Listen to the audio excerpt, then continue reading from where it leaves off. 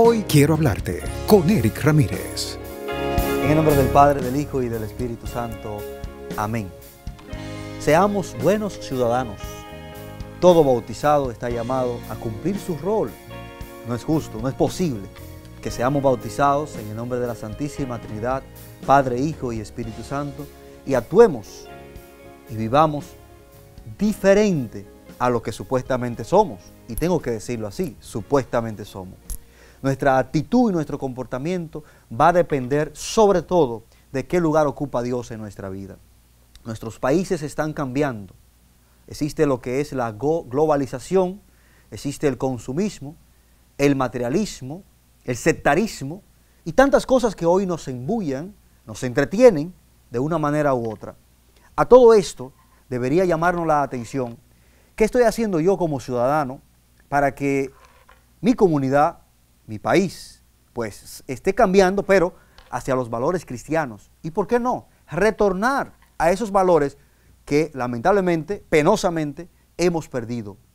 ¿Y qué estamos perdiendo? Bueno, ya no es respeto. Ya se quita la vida a una persona por un celular. ¿A dónde ha llegado el valor, la dignidad de una persona?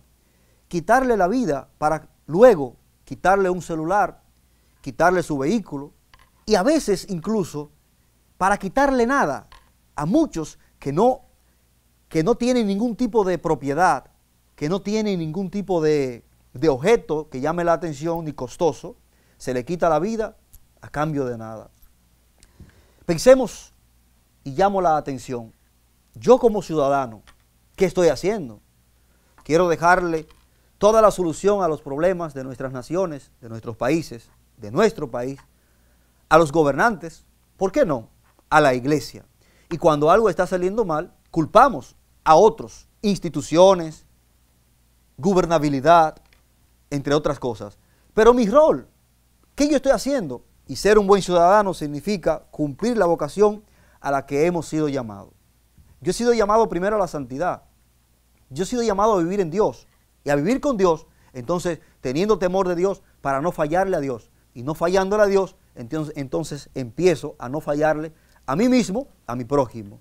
Yo amo a Dios, pero en la misma medida que amo a Dios, amo a mi prójimo. Entonces no le, no le falto a Dios a través de mi prójimo. No daño a Dios a través de mi prójimo. No insulto a Dios a través de mi prójimo. Segundo, dar testimonio de vida. Yo estoy llamado a dar testimonio de vida. ¿Qué testimonio tú y yo estamos dando hoy?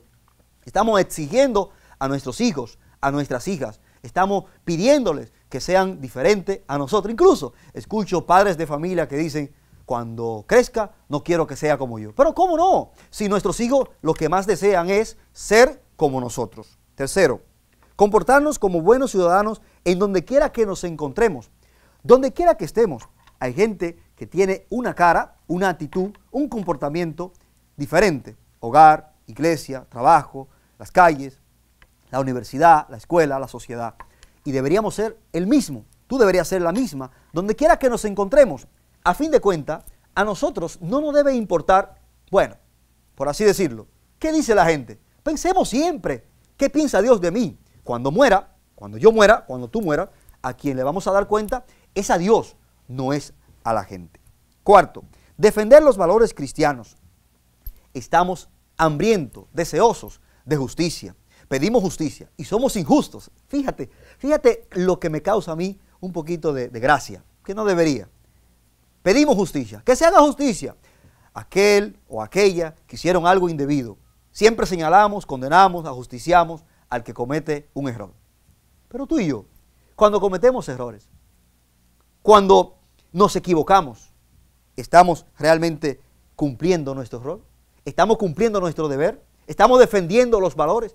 ¿Cuáles son esos valores cristianos? Ya no se ora en familia, ya no se come en familia, ya no se comparte en familia. Bueno, estoy diciendo de una forma exagerada. Yo sé que todavía existen familias, existimos familias, que estamos marcando la diferencia. Nos cuesta mucho porque nos quieren embullar, nos quieren entretener, nos quieren apartar de estas cosas que no deberíamos dejar que así sea. Quinto, respetar las señales de tránsito. Uh, Qué desorden en nuestros países. Qué triste ver, sobre todo uno que ha salido de República Dominicana y ver cómo se cumplen las leyes. Incluso, hablo por nosotros, los dominicanos. Yo veo dominicanos y dominicanas en los Estados Unidos y en otros países que he visitado cumplir las leyes de tránsito, sin importar la hora, porque cuando es las 12, la 1 de la mañana, veo que en esos países la gente se detiene en un semáforo, aunque este esté rojo. Eso es lo más normal. Lo que me causa tristeza es ver el mismo o la misma dominicana, dominicano, que aquí en su país, donde debería cuidar el país, donde debería salvaguardar el país, bueno, lo que hace es que un semáforo rojo le dice que pase, le dice que siga. Esto debería llamarnos mucho, mucho la atención. ¿Qué desorden tenemos en las calles? Nadie quiere darle paso al otro. Y lo que estoy hablando hoy dirá mucha gente, ¿y qué tiene que ver eso con la iglesia? ¿Qué tiene que ver eso con la voz de María? ¿Qué tiene que ver eso con la fe? Pues claro, para muchos estos son temas que están de más. Pues no, si soy cristiano, debo ser coherente de acuerdo a lo que digo que soy. Tengo un título y ese título es cristiano. Soy de Cristo, soy el otro Cristo y soy un Cristo andante. Mi comportamiento es el mismo de un cristiano y un cristiano verdadero y auténtico. Sexto, ser honrado. Y hay un llamado a los muchachos y muchachas. Ser honrado. Lo que pasa es que se comienza jugando, a veces se coge algo, bueno, se adquiere algo indebidamente en la casa, nos acostumbramos a tomar algo que no es nuestro. En tiempos de antes, en tiempos atrás, los muchachos y las muchachas, si llegaban con algo, con un objeto cualquiera que fuera, a la casa, que no fuera comprado, adquirido por sus padres, un padrino, abuelo, una tía, un tío, y que esto realmente argumentara quién se lo dio, quién se lo regaló, pues se investigaba. Ahora no, ahora los muchachos llegan a las casas, a los hogares, y eso, ah, eh, me lo encontré, y eso, ah, me lo regalaron. Bueno, y a veces hay madres de familia que están felices porque sus hijos han llegado a casa con un televisor. Y como llegan con un televisor y esta mujer no tenía, está feliz, pero el televisor es robado. Yo tengo que ser honrado. Séptimo, ser trabajador. Va de la mano con la honradez. Yo soy honrado porque trabajo y lo que obtengo, lo obtengo con el esfuerzo de mi trabajo. Yo estoy trabajando, yo no vivo del otro, ni quiero tampoco obtener lo que el otro tiene a como de lugar. Ahí viene el atraco, viene el robo, viene el deseo desenfrenado de obtener cosas que a fin de cuentas no nos añaden nada positivo en cuanto a la vida eterna se refiere. Necesitamos el dinero, necesitamos las cosas que pudiéramos usar en el hogar, pero todo esto sin Dios es un caos, es un desastre. Yo tengo que trabajar, porque el trabajo dignifica al hombre. El trabajo me dignifica y por eso yo trabajo. Dice el apóstol Pablo, yo no he sido carga para nadie. Yo he trabajado y como he trabajo me he ganado mi sustento. Y aquí, bueno, ser trabajador. Hay muchos incluso que quieren vivir eh, a costilla de lo que hacen, pero necesitamos trabajar. Octavo, evitar discusiones. Evitar discusiones.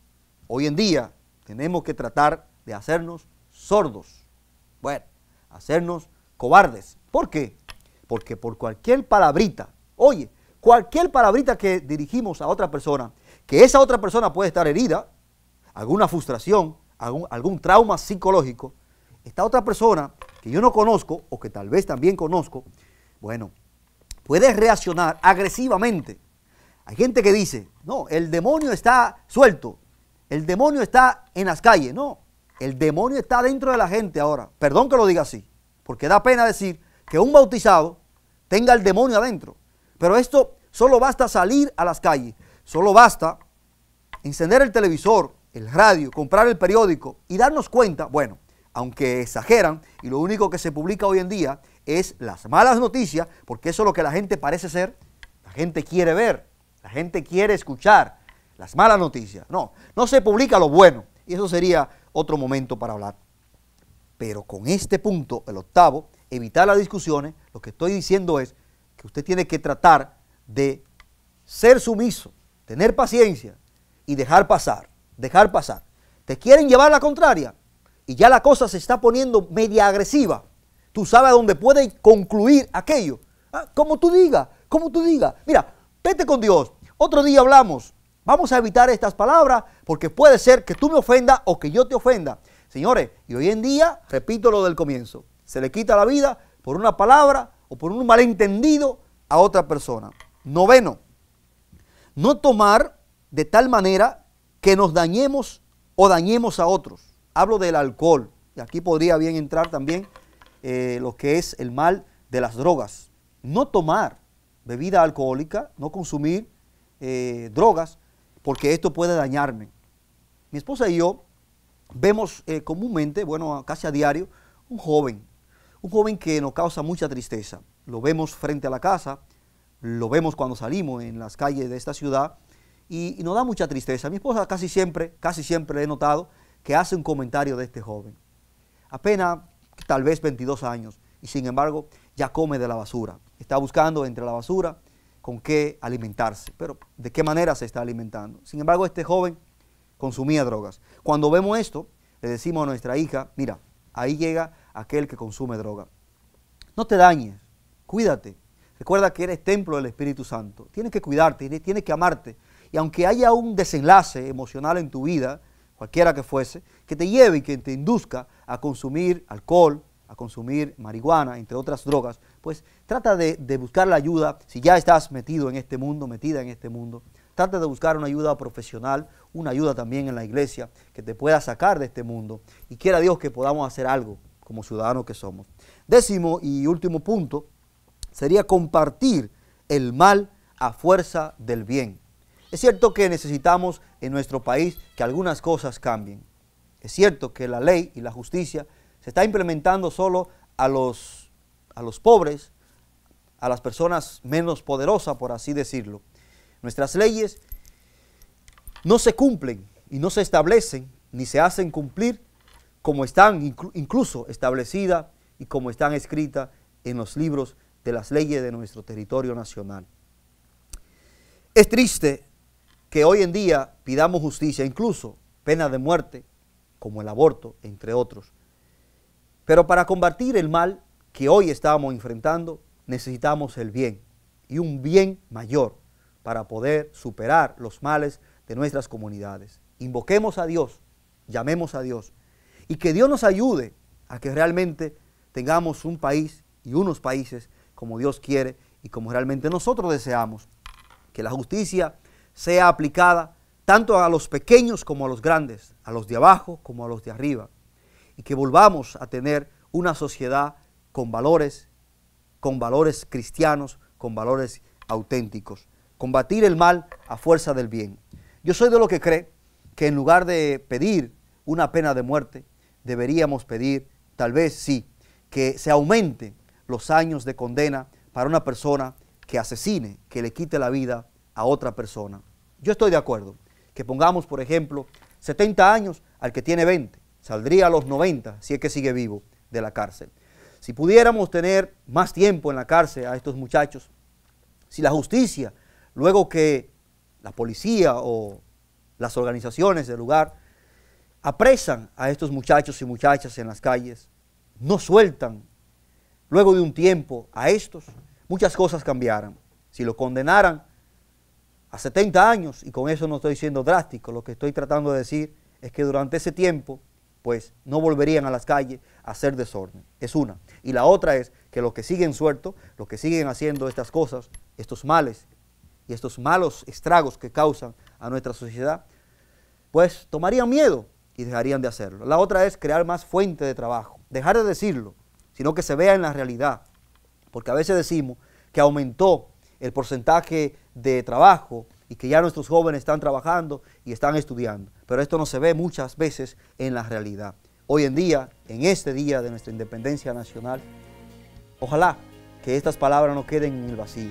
Tenemos un año de, cambios, cambios en todos los sentidos de la palabra. Cambiemos, pongamos a Dios presente en nuestra vida, en nuestros hogares y hagamos nuestra parte para que seamos buenos ciudadanos.